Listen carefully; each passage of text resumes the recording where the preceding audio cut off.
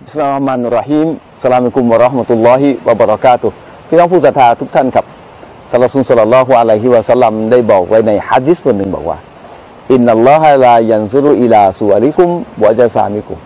แท้จริงอัลลอฮ์سبحانه وتعالى ไม่ทรงดูว่าร่างกายของเราเป็นอย่างไร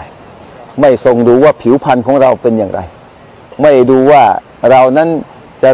จะเตี้ยจะสูงจะดำจะขาว นะครับ จะรูปร่างดี รูปร่างไม่ดูจะอ้วนจะผอมอัลลอฮ์ไม่ดูครับวลากินยันซุรุอิลากุลูบิกุมวะอามาลิกุมแต่อัลลอฮฺสุบฮานะฮูวตาลาจะดูที่อะไรครับ จะดูที่หัวใจของเรา และดูที่อามันของเรา วันนี้เรา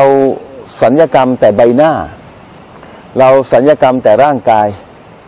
พี่น้องครับ ร่างกายของเรานี่เวลาไปอวดเพื่อน ท้องเรานี่แหมมันต้องมีซิกแพคอย่างงู้นอย่างนี้ ไปอวดเพื่อนได้รู้ว่าเรานี่เป็นคนหนึ่งที่รูปร่างดี ก็ไม่ได้ว่ากันครับ แต่ต้องเข้าใจตรงนี้ก่อนนะครับว่า แต่อัลลอฮ์ก็ไม่ดูตรงนั้นอัลลอฮ์ไม่ได้บอกว่าคนอ้วนดีกว่าคนผอม หรือคนผอมดีกว่าคนอ้วน คนผิวขาวดีกว่าคนผิวดำคนผิวดำดีกว่าคนผิวขาวอัลลอฮ์ไม่ดูวะลากินยันซูรูแต่อัลลอฮ์ดูที่กูรูบิกุมดูที่หัวใจต่างหากทำเพื่ออัลลอฮ์ไหม บริสุทธิ์ใจไหมเพื่ออิสลามไหมเพื่อพี่น้องส่วนใหญ่ไหมหรือสุดท้ายเพื่ออัลลอฮ์สุบฮานะฮูวะตาลาอามันของเราต่างหากนะครับพี่น้องหัวใจของเราต่างหากนะครับ ที่อัลลอฮ์จะดูว่าอามาลิกุม แล้วก็อามันของเราที่อัลลอฮ์จะดู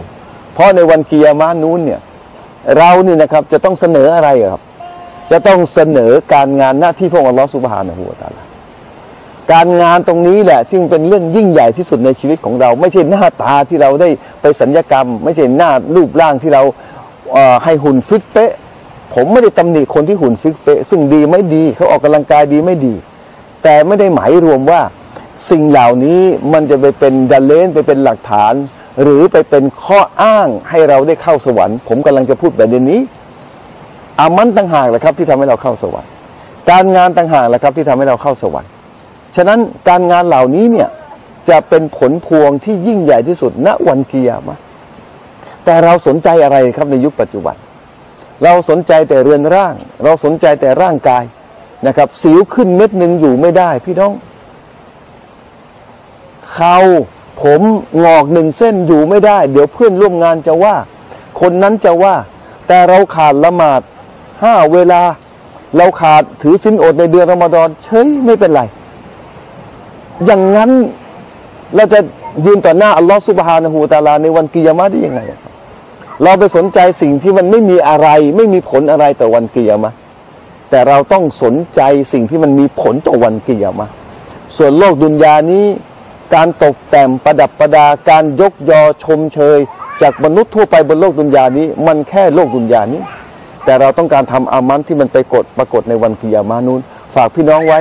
ว่า ในชีวิตของเราเนี่ยเป้าหมายจริง ๆ คืออะไรนะครับฝากไว้ตรงนี้นะครับวะบิลลาฮิตาฟิกวันฮิดายะอัสสลามุอะลัยกุมวะราะห์มะตุลลอฮิวะบะเราะกาตุฮ